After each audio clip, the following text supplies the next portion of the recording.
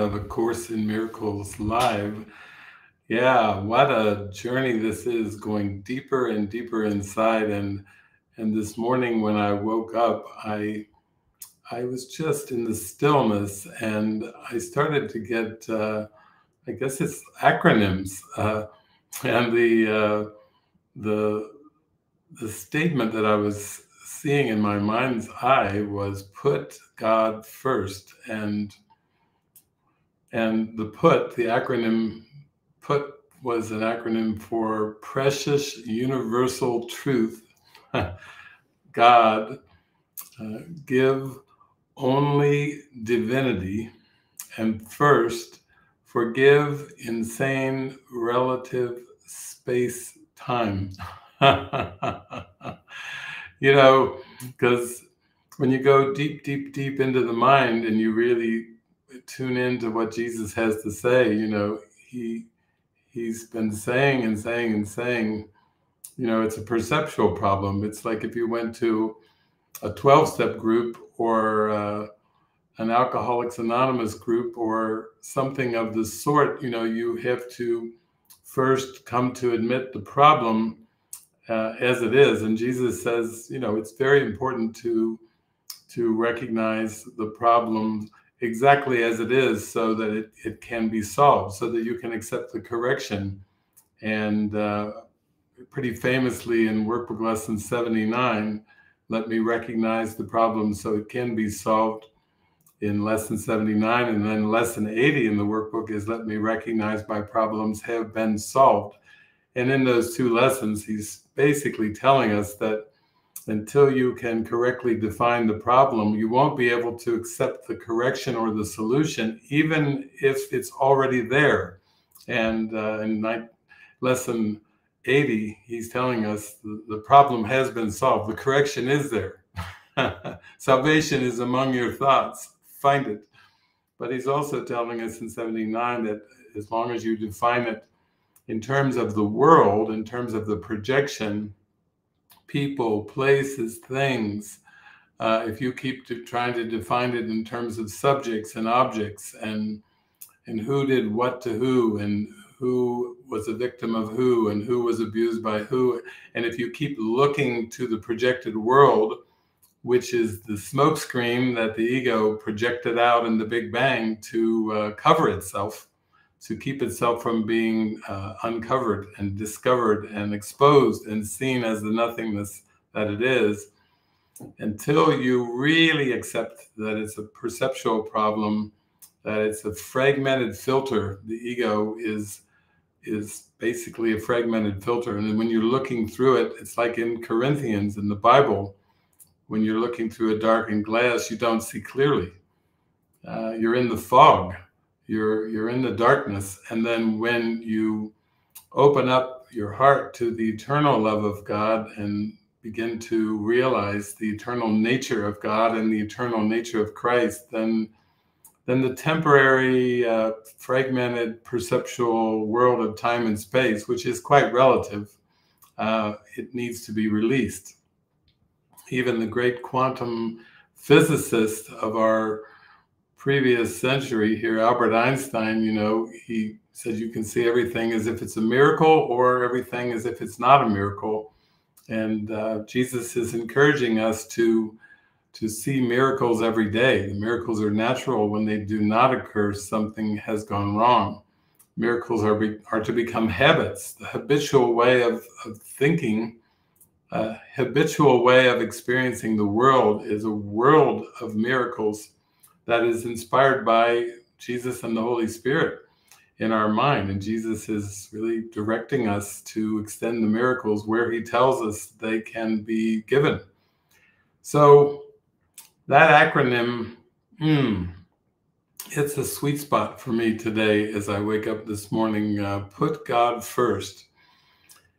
And the quantum physicists have told us that uh, time and space are relative. That's what Einstein taught us with his theory of relativity that uh, that time and space are relative and proportionate to one another, and uh, and that basically the world of perception, the world of the cosmos, the world of space-time is is a relative world and it is not absolute.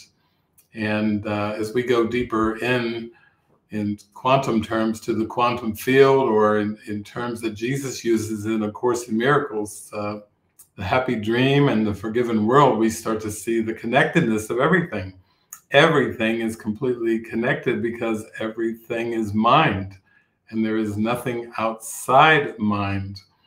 Uh, in fact, uh, Christ is an idea in the mind of God, a perfect idea. That I am presence before Abraham was I am is, is a perfect idea in the mind of God and remains one with God. So uh, we're following the, the Christian symbols of the Holy Trinity. The Holy Spirit is our bridge back, our reminder of our eternal nature as the Christ, and Therefore, the Holy Spirit is our comforter and our instructor, and He gives us beautiful uh, daily reminders and instructions as we uh, practice the rules for decision in the back of the text of A Course in Miracles, and we go through these beautiful workbook lessons. So, in particular, uh, the last part of Put God First, the, the first, forgive insane relative space time. It's it's a perceptual problem because when the ego made up linear time, this past, present, future construct that uh, is a self concept. It's a it's a it's an identity that was made to take the place of uh, the eternal Christ identity, the I am presence. Then this construct is basically the projection of, of guilt and the projection of fear. And Jesus is telling us over and over don't try to find love in a loveless place, you know, in a, a time space big bang, uh, we'll say, of, uh, of what seems to be time and space and physicality. Uh, what, what it has been called, it's an illusion, it's a trick of the mind that the ego has uh, perpetuated. And basically, when we forgive, we're not really forgiving people and places and events. We have to go back, back, back to the Big Bang and prior to the Big Bang to the uh, seeming explosion of gases that seems to be talked about in uh, scientific history. But basically we have to go back to the belief in separation to the to the tiny mad idea the incredible belief that that uh, that anything could exist outside of the mind of god and what we've been told by the beatles love is all you need love is all there is actually god is and christ is and spirit and the kingdom of heaven is the fact and then the projected world of time and space is the big distraction from uh, accepting the correction, the atonement, and and uh, remembering God. So this is a beautiful, beautiful uh, set of, of acronyms. Put God first, precious universal truth.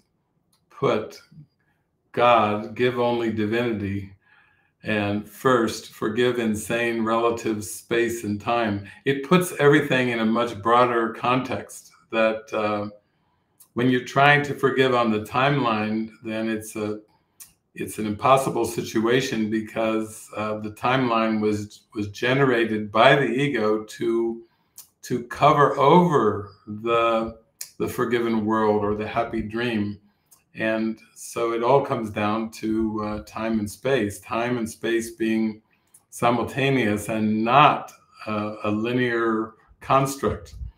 And yet, all the stories of the world have uh, have the su- subjects and the objects in them. Uh, that's what makes a story.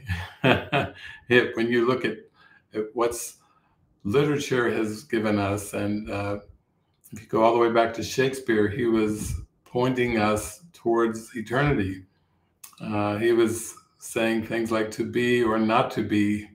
That is the question. And basically, that is the final distinction, you know, to be as God created me or not to be as God created me, to be a spirit uh, a perfect creation of a perfect loving God or to be a time space creature uh, called a body, a person, a personality. You know, that's the, the, the distinction to be or not to, to be. And so we really, really enjoy the depth of the teachings because that's where our joy comes in. Consistent joy, consistent glee and happiness come from remembering our true self.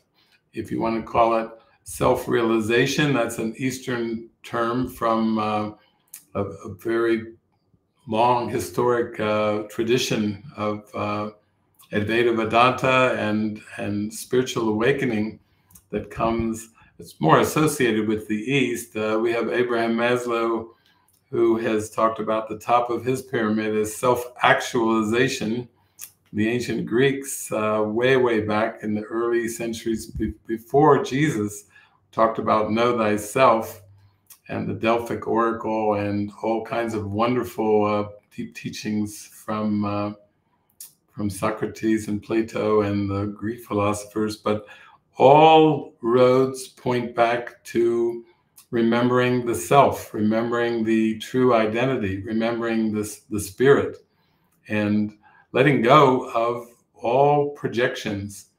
Basically, projections are, are judgments. Projections are an attempt, Jesus tells us in his course, their attempt to get rid of something that you don't want. But he says by projecting, you actually keep it in awareness. So if you have an attack thought, which the ego is the attack thought that, that sponsors all attack thoughts, but when you have an attack thought and you try to get rid of it by seeing it as if it's somewhere else, that's the projection, putting it onto a world and and trying to give existence to something that doesn't have existence, that, that wasn't created by God. We're familiar from the Bible, the Old Testament, about the, the begats, the procreation uh, Adam and Eve, and so on and so forth. And, and we go through the begat, begat. But what Jesus is teaching us is that spirit creates in spirit, creates in spirit, that, that spiritual creation is, is a continuous line of spirit creating spirit in eternity. It has nothing to do with time and space. So the second part of put God first, the G O D, give only divinity, is what Jesus means when he says, Teach only love, for that is what you are. Give love, extend love, be the love, uh, shine the love, shine the light, be the light of the world. You know, that the Beatitudes are all about being. And the top of Abraham Maslow's pyramid was all about being. And uh, any system that comes back to the creator or the source or the ultimate cause, or we could even call it the absolute, uh, that God is, heaven is, spirit is, is an absolute. And the, relative world of, of time and space is, uh, are just the effects of an unreal cause. The ego is an unreal cause not coming from God, and therefore the projection of the ego is uh, an unreal world of effects that that simply seem to be bodies and behaviors and uh, all kinds of things, a universe of things that seem to exist in in and of themselves, but really don't. And uh, we learn that in in workbook lessons 183 and 184 that basically the this is the process of uh, of delusion. This is the process of uh, psychosis of believing you've had a break from reality, a, a, break from eternal life, and and now are dealing with it in time and space. So it's really beautiful because it, it gets down to the core teachings of, of forgiveness. You forgive your brother what he didn't for what he did not do, meaning you pluck the offense from your mind, as Jesus taught us 2,000 years ago. Before you get the speck out of your brother's eyes, get the beam or the log out of your own. You pluck the offense out of your mind, where you allow the offense to be released through the Holy Spirit's uh, loving guidance. And uh, we have heard the word sin, but we are told that sin is an error, and that error has been corrected by the Holy Spirit. So that's where the innocence, the divine innocence of Christ, comes in. Uh, the lion and the lamb shall lie down side by side is uh, the lion representing strength and the lamb representing innocence. And that's what meekness is. Blessed are the meek for they shall inherit the earth. That's that's the meekness of spirit. That's the the, the gentleness of spirit. Gently overlooking error and looking to the light of truth that is on the altar. The Holy Spirit always looks to the light of truth and never categorizes errors. The Holy Spirit overlooks the error and remembers the innocence. And that's the divinity. That's the divinity. Give only divinity. So as we go forth and another sparkling new day, it's an opportunity to give as God gives. God doesn't know what reciprocity means. God only gives. Christ is an eternal creation in which everything that is God was given to Christ. And uh, that's what spirit is. Spirit only gives. And the rest is is just to be released from the mind. All attempts at reciprocal relationships, doing something to get something in return is to be that's just to be forgiven because the ego is basically the getting mechanism of the mind and it's always trying to get something for its own. And you can see that motive uh, played out in all the world trying to get ahead trying to get more trying to get something. Uh, it's a focus on outcomes in the world trying to get outcomes as if some outcomes in the world uh, in terms of form are more desirable than others. But Spirit is showing us that all of the outcomes of this projected world are equally unreal, that there's no hierarchy among these seeming images and outcomes, and, and there's no order of difficulty in miracles in forgiving them. If you can forgive one thing, you can forgive all things. Uh, because of the power of God, because of the Holy Spirit in our mind. So it's a glorious, glorious waking life of remembrance and uh, remembering every moment of every day. Put God first. Put God first. This is this is the prayer of the mystics and saints. Put God first. This is the the prayer of our hearts for connection. Our connection comes through our creator through god and therefore it it radiates to everything and everyone through the altar in our mind through uh, putting god first on the altar and having no other idol images before the lord thy god. It comes from releasing all desires for something to be different than it is in form to let all things be exactly as they are. It comes from trying just to accept what is real and true and seeking not to change the world, seeking rather to change the mind about the world and, and realize that all things work together for good for those who love the Lord. Truly, all things work together, and there are no exceptions except in the ego's judgment, which is not real.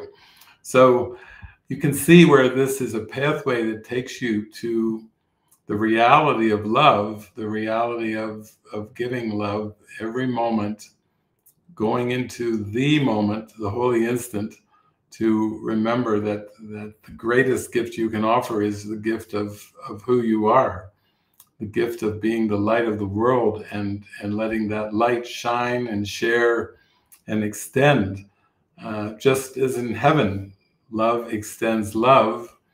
Light extends light. Joy extends joy. Uh, you could say that is the, the practice. learning to give as God gives, learning to give without conditions, without uh, expectations. And it's interesting to follow the guidance of the Holy Spirit because the symbols that are given are just stepping stone symbols. Uh, when you receive guidance in terms of thoughts and feelings and words, it's just an opportunity to to practice the pray, listen, and follow. You know, to be in the the flow of the Spirit. Every day should be devoted to miracles, and prayer is the medium of miracles. So when we pray and listen and follow, we glide along in love of God. We go with that smooth glide. We go with the flow, as they they say. We go with the the joy. We go with the happiness. We go with God's will, which is for perfect happiness for everything and everyone, because all is created by God in the kingdom of heaven, and all is love, and all is one in the kingdom of heaven. So our remembrance of heaven is is important. You might say that's uh, the only important thing. Remembering God throughout the seeming day, moment, moment, moment, moment, remembering, remembering, remembering God. So, what a journey! What a, a, journey without distance. We're just floating in this love and light, and and uh, yeah, I just thought to come on and just share some joy from the uh, the acronym uh, that I experienced when I uh, was awakened this morning. Precious, precious universal truth put God, give only divinity first, forgive insane relative space time. it's it's it's kind of got a bit of a rhyme to it there at the end.